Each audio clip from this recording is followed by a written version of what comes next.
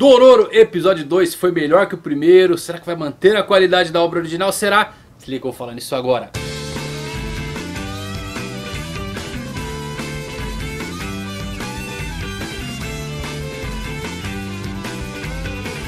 Fala galera, Evandro Fusari ou Evandororo Fusari Que piada infame né? Como vocês estão meus amigos? Espero que todos muito bem Vamos trazer aqui um review de Dororo episódio 2 Já assistiu? Se não assistiu, cuidado aí que pode ter alguns spoilers Vou tentar me conter aí nesse quesito de spoiler Vou dar um review, uma resenha bem, bem rapidinha Porque eu vou trazer aqui mais algumas inspirações Umas obras que foram inspiradas em Dororo também como curiosidade. Vocês sabem que eu gosto sempre de colocar isso nos meus vídeos. Aonde o autor se inspira ou qual obra foi inspirada por tal autor. E Dororo é uma fonte de referência para diversos autores. Então se liga aí, vamos lá. O capítulo abre mostrando um monge, aquele mesmo que aparece no primeiro episódio, um monge cego. E acaba encontrando um espírito, diga-se de passagem, bem feio, meio cabeçudo ali. Que pergunta, você quer e você fica com aquilo na cabeça, será que é um demônio, vai acontecer alguma coisa? Então temos a abertura, que por falar nisso, a abertura e encerramento de Dororo é bem legal, hein? a música eu gostei bastante. E começamos ali esse segundo episódio com o Hyakimaru, que é o nome aí do nosso pequeno monstrinho. E o Dororo lá que tá enchendo o saco dele, olha pra mim, não escuta, não enxerga. O Dororo é uma peste ali que tá grudada no Hyakimaru. E eles estão caminhando por uma estradinha de terra onde o Hyakimaru também precisa comer. Vemos ali que ele tem algumas funções digestivas ainda. Não foi todo o seu organismo, todos os seus órgãos internos que foram retirados porque ele para para comer e o Dororo acaba assando ali um peixe, ele comia cru. Era bem chucrão mesmo, né? Bem capitão do mato o Hyakimaru. E o Dororo ali na estrada acabou ouvindo boatos de um vilarejo que estava sendo atacado por um monstro. E ele acaba levando o Hyakimaru, nosso samurai, para matar esse monstro e quem sabe fazer uma pequena fortuna de recompensa do pessoal lá do vilarejo. No vilarejo eles são recebidos até calorosamente pelos moradores que dizem que sim vão pagar uma recompensa se eles matarem o monstro. E dizem que a líder da, da vila, que se chama Bandai, incrivelmente chama Bandai né. Ela está com a perna ferida e não podia recebê-los, mas depois fariam uma visita. Eles então são levados a um alojamento onde ficam algum tempo ali, comem e à noite recebem a visita daquela mesma figura misteriosa, aquele monstro, vamos chamar assim, que badala um sino. Porém, Hyakimaru não ataca, não faz qualquer gesto para atacar esse monstro. Então temos o nosso narrador explicando que o Hyakimaru, apesar de não enxergar, não escutar nada, ele consegue ver a alma das criaturas. E a partir daqui ele sabe quem ele deve atacar, quem ele não deve. Então uma alma uma alma pura, uma alma simples, geralmente ela é branca como a minha, assim, né? Bem, bem branquinha.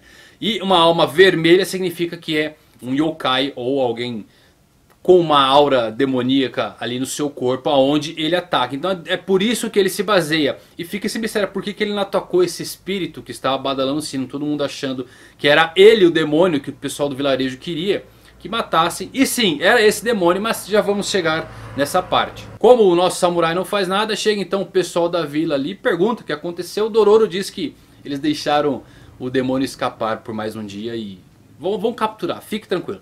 E então eles são levados a Bandai para conhecer a, a, líder da vila, onde ela está deitada numa cama e diz que machucou a sua perna. E o Hyakimaru em sua primeira reação é sacar a sua espada e tentar atacar essa mulher, uma bela mulher, diga-se de passagem. Porém, ele é impedido pelo pessoal da vila e jogado, preso dentro de um armazém. Ali ele encontra o velho monge que também foi preso, chegou nesse vilarejo. E o velho também é cego e enxerga as coisas da mesma forma que Hakimaru, vendo o interior da alma das pessoas.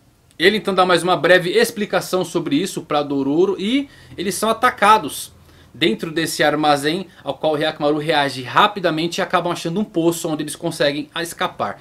E eles entram ali dentro de onde estava a líder do vilarejo e aí sim o bicho pega. Ela se mostra assim como um demônio, um yokai que transformava a sua cauda naquela forma de mulher e enganou todo o pessoal do vilarejo. Na verdade eles meio que trabalhavam para ela porque eles pegavam viajantes e davam para ela se alimentar, lógico, para proteger todos os os aldeões ali da, da, do vilarejo. Então era uma coisa assim, come eles, mas não antes deles do que eu. E aí acaba rolando uma treta, acaba indo em direção à floresta onde Hyakimaru consegue derrotar aí esse yokai e volta uma parte do seu corpo ali, o que parece ser seu sistema circulatório. Como o episódio acaba nessa parte, não dá pra saber exatamente o que, que voltou. E o que diabos era aquele monstro cabeçudo que ficava perguntando, você quer? Bem, ele aparece entre as árvores e badala o Cine e pergunta a mesma coisa, você quer? E o Dororo vai averiguar o que tem lá e ele encontra todo o tesouro. Ele era um dos viajantes que morreu e se tornou um espírito. Mas ele como tinha muito dinheiro, seu dinheiro foi enterrado ali. E ele acabou guiando novos viajantes para encontrar toda a sua fortuna. O cara do vilarejo ficou lá com uma mega vergonha por fazer tudo isso, mas vida que segue. E agora vamos ter a sequência. Será que vamos ter uma dupla de três aí? Será que o velho monge vai viajar com Dororo? Eu vou depois fazer umas diferenças do mangá clássico com esse anime. Eu não assisti ainda o anime clássico, preciso pegar para ver se tem diferenças, mas já me cantaram a bola que tem. E fica aqui algumas referências interessantes para vocês verem o estilo de luta, as armas de Hyakimaru são muito parecidas com o que você vê por exemplo em Blade, a lâmina do Imortal, que tem diversas armas, o estilo de luta. Então fica aí um, uma referência para você bem legal. Outro personagem que foi referenciado, isso eu já li há muito tempo numa revista, olha, antigaça, foi Haomaru de Samurai Shodown, Samurai Spirit. Se você jogou esse jogo, eu adorava.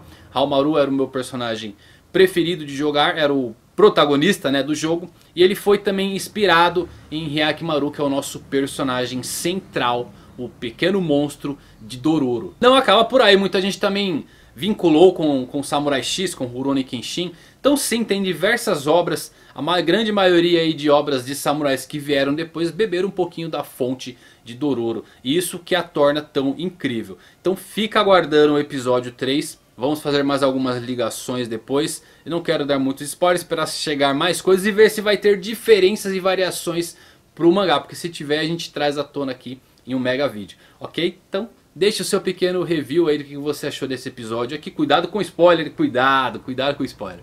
Mas é isso aí galera, obrigado por assistirem. Fiquem ligados hein, até os próximos vídeos e fui.